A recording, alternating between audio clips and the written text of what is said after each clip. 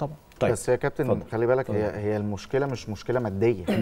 يعني نادي الزمالك ما عندوش مشكلة في المبالغ لا يعني هي موجودة بس المبالغ نفسها كبيرة جدا أيوه أنا ما مش قصدي يا أنت- جمال إن النادي الأهلي اللي أنت كابتن- قلته ده أعتقد الكابتن أحمد أحمد قال. النقطة مهمة جدا أنا مش قصدي يا جمال ان ان ان ال- ال- إن مفيش فلوس أنا قصدي إن إن أنا عندي جاب. كبير. جدا لا وهتضغط. على اللاعب وهو مع بيجدد نفس اللعيبة. هتيجي تقول له بقى أنت عايز أنا 20 أنا مليون. دلوقتي أنا باخد آه، آه، 2 مليون مم. والكابتن أحمد بياخد 20 مليون مم. المفروض وإحنا بنلعب أنت كمتفرج تبقى شايف الفرق فرق فرق، كبير مفيش بقى فرق. آه إنما أنت ده ما فيش فرق صح. فأنت ليه أنت بتاخد 20 وأنا أخد 2 ما هو يبقى إحنا الاثنين زي بعض 2 صح. يا يبقى إحنا الاثنين 20 أنت عارف ده هيعمل إيه هيدي ثقة لنادي الزمالك دلوقتي هو هو بيجدد. اللعيبة هو طبعا. بالظبط. لا أنت مش هتاخد 20 أنت هتاخد 10 أيوة. هو ده هم دول اللي موجودين بالظبط عاجبك عاجبك مش عاجبك في. واحد غيرك يا هو. هو ده على فكرة هو ده اللي حصل آه لأنه جت في وقت أنت اللعيبة ابتدت أنا عندي عروض وده أنا جاي لي بمبالغ مش عارف صح. إيه وده أنا جاي لي إيه؟ طب يا جماعة خلاص ما فيش تجديد خالص مم. للناس كلها ك... نادي الزمالك خلاص مش هيجدد مع حد. امم إحنا لا شفنا عروض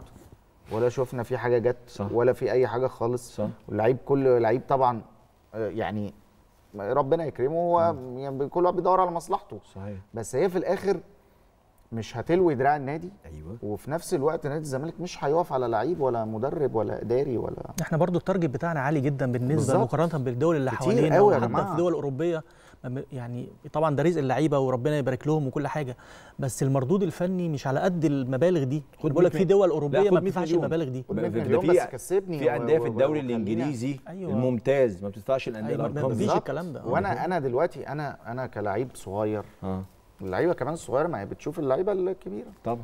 طب أنا هحترف ليه؟ ما أنا هطلع ألعب في نادي الزمالك عليك. في الدرجة الأولى ولا في الأهلي؟ هاخد 20 مليون و25 أروح مليون. اخد 2 مليون بره. اخد 2 مليون بره ليه؟ في و- الدوري واتغرب السويسري ليه؟ ولا و- بتاع؟ انت عارف ده بيعمل إيه كمان؟ بعد مثلا السنة الأولانية وأنا عندي ناشئ بجدد له بمليون جنيه وعندي لعيب في نفس البوزيشن بتاعه عن- بياخد 20 مليون جنيه. مم. والناشئ ده أول سنة هيلعب تاني سنة هيقول لك عدل لي عقدي أنا عاوز بالظبط. أنا عايز 15 زيه. أنا عاوز ما أنا 15 اللي بلعب. فهتخسر الناشئ هتخسر كمان الناشئ كمان. آه، فدي مشكلة. كارثة كارثة. لازم لازم يبقى لها آه، حل من يا اتحاد الكورة يا من الرابطة يا- يعني لازم في حل لموضوع المبالغ وموضوع طبعا الصراع اللي موجود بين ال- الزمالك والأهلي ودخل كمان معاهم بيراميدز. فأنت بت بتولع الدنيا والمنتج في الآخر. ما هو ده لو أنت بقى لو إحنا لا ما هو الحل الحل أنت الحل دايما أقوله. الحل أنت مش تقدر تقول للنادي تدفع كام وما تدفعش كام.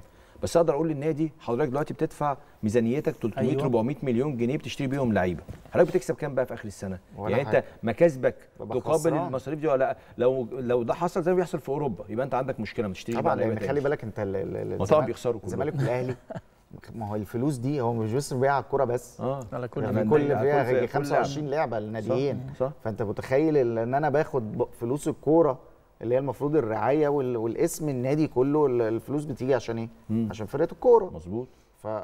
فانت بتصرف بيها مش على فرقة الكورة لا انت على بتصرف النادي بيها كله، على النادي النادي. كله. أنا كابتن أحمد من كام يوم بصفه النادي النادي الأهلي تحديدا هو الأكثر استقرارا ماليا في أمور الرعاية وخلافه. فجبت ميزانية النادي الأهلي كانت معلنة آخر سنة. المعلنة يعني مش مش معلومة سرية يعني. النادي الأهلي عنده خسائر وعجز في ميزانية كرة القدم. انه المصاريف اللي انت بتصرفها اكبر بكتير من, من- المكاسب اللي مع علما من بقى. انه الاهلي بيكسب فلوس كان كسبان فلوس من بطولة أفريقيا في العالم كأس العالم للأندية والرعاية بس ده ما يجيش حاجة. جنب تجديد آه، لعيبتك بالظبط ما يجيش حاجة لا أنا. بقول لك أنت متخيل الأهلي ده آه. بيخسر امال. باقي الأندية بيحصل يعني كله انت أنت بيخسر. أنت بطولة أفريقيا بتاخد 2 مليون 3 مليون آه. يعني عقد آه، لاعب. أجنبي آه. لاعب يعني أجنبي واحد. يعني- آه دي بطولة بتاخدها في السنة